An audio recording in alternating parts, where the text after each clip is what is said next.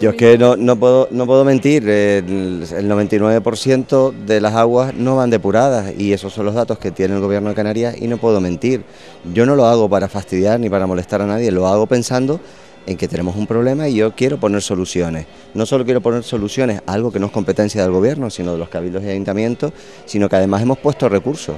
El Fondo de Desarrollo de Canarias, que tan criticado y polémico fue, ha puesto 1.200 millones de euros para infraestructuras.